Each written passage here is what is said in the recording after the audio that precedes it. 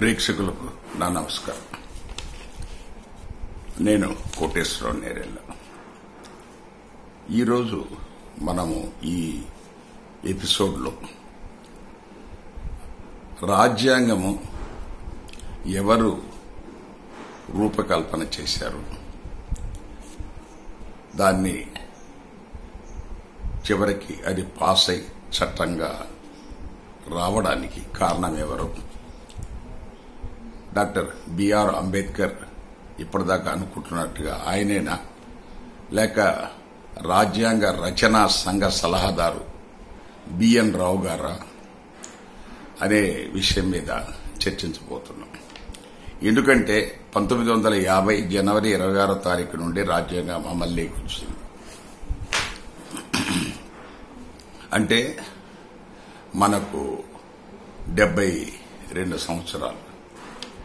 ఇన్ని సంవత్సరాల తర్వాత ఈ మధ్యకాలంలో కొందరు ఎస్పెషల్లీ బీజేపీ రెండుసార్లు అధికారంలోకి వచ్చిన తర్వాత ఈ మనువాద సిద్ధాంతాన్ని నమ్ముకున్న వాళ్ళు ఆర్ఎస్ఎస్ భావజాలంతో బ్రతికే వాళ్ళు వాళ్ళు అప్పుడప్పుడు అక్కడక్కడ వీటిని ప్రచారంలో పెట్టి ఈ రాజ్యాంగ రచన క్రెడిట్ బిఎన్ రావు గారికే చెందాలి అంబేద్కర్ కాదు అన్న ఒక కొత్త సాంప్రదాయాన్ని సృష్టించాలని చేస్తున్న ప్రయత్నంలో భాగంగానే దానికి ఈ ఈ వీడియో కింద జవాబు చెప్పదలుచుకున్నాం. అందరికీ తెలిసినట్టుగా రాజ్యాంగ రచనా సంఘం కాన్స్టెంట్ అసెంబ్లీలో రాజ్యాంగ పరిషత్తులో రాజ్యాంగ రచనా సంఘం అనే ఒక సబ్సెక్షన్.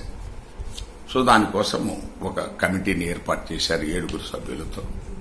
దానికి బాబాసాహెబ్ అంబేద్కర్ దానికి అధ్యక్షుడు. ఇది చైర్మన్. బిఎన్ రావు గారు దానికి ఆర్థిక ఈ రాజ్యాంగ రచనా సంఘ సలహాదారు. ఆయన అంతకుముందు ఐసీఎస్ ఆఫీసర్గా రిటైర్ అయినాడు. సో రాజ్యాంగం గురించి ఇదే ఇదే దేశ విదేశాల రాజ్యాంగం గురించి అవగాహన కలిగిన వ్యక్తిగా రాజ్యాంగ పరిషత్తు వాళ్ళు రాజ్యాంగ రచనా సంఘం వాళ్ళ సలహా మేరకు బిఎన్ రావు గారిని అపాయింట్ చేశారు.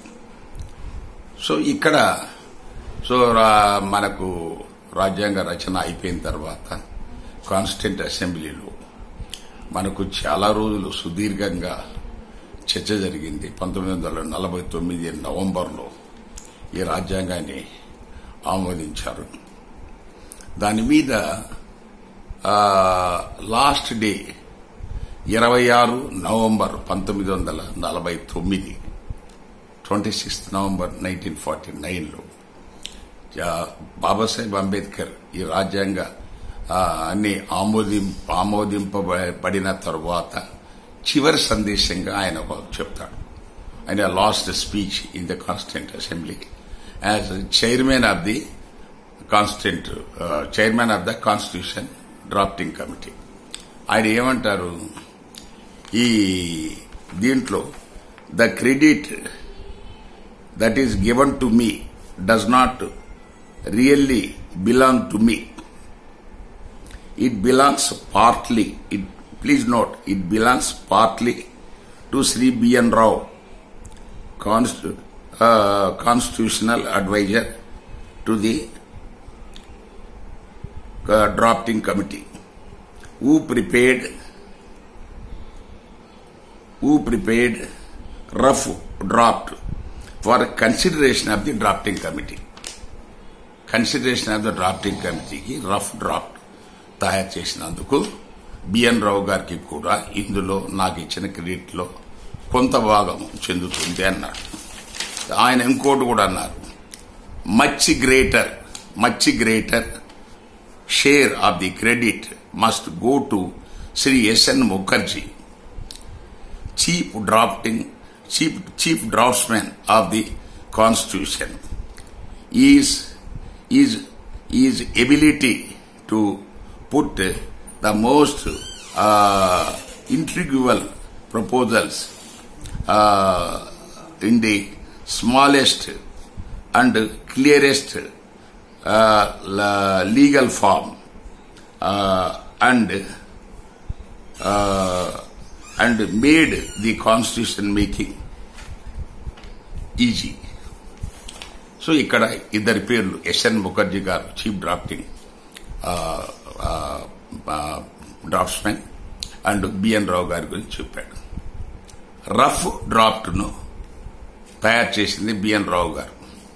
ఇక్కడ చాలా మందికి తెలుసుకోవాల్సింది ఏంటంటే ప్రభుత్వం దగ్గర ఏదైనా ఒక జీవో ఇచ్చేప్పుడు కింద లో కింద ఉన్న బాటమ్ మోస్ట్ గుమస్తా. Clerk or under UDC. అతను అంతకుముందు ఉన్న దానికి సంబంధిత జీవోలు తీసుకొని దాన్ని బట్టి ఒక డ్రాఫ్ట్ తయారు చేసేసి సెప్ సెక్షన్ ఆఫీసర్ పెడతాడు.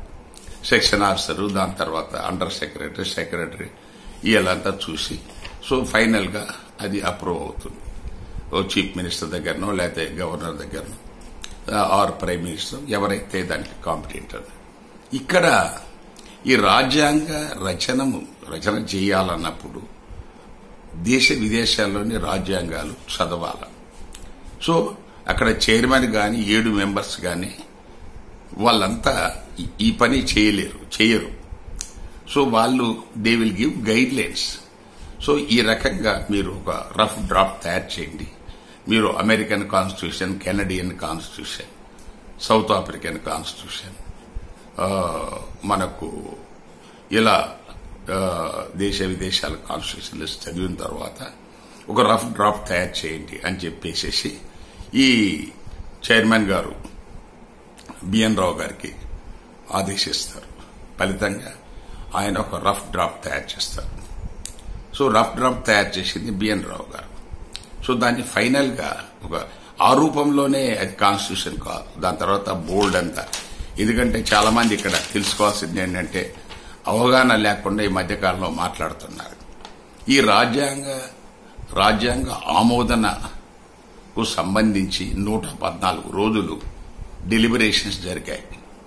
నూట పద్నాలుగు రోజులు డెలిబరేషన్స్ జరిగితే రెండు వందల తొంభై తొమ్మిది మంది కాన్స్టిట్యూంట్ అసెంబ్లీలో పెద్ద పెద్ద లాయర్లు పెద్ద పెద్ద వాళ్ళు ఉన్నారు. ఏడు వేల ఆరు వందల ముప్పై ఐదు అమెండ్మెంట్స్ ప్రపోజల్స్ వాళ్ళు ఇచ్చారు ఒక్కొక్క ఆర్టికల్స్కు రకరకాల ఆర్టికల్స్ మీద సెక్షన్స్ మీద వర్డ్స్ మీద.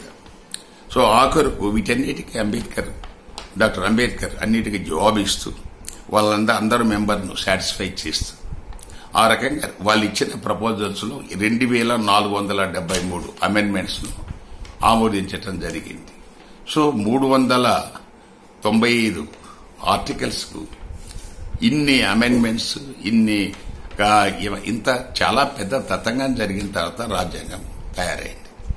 సో అందువల్ల బిఎన్ రావు గారికి క్రెడిట్ అంటే chairman of the drafting committee ఏడు మంది డ్రాఫ్టింగ్ కమిటీ సభ్యులు వాళ్ళందరికీ మిచ్చి.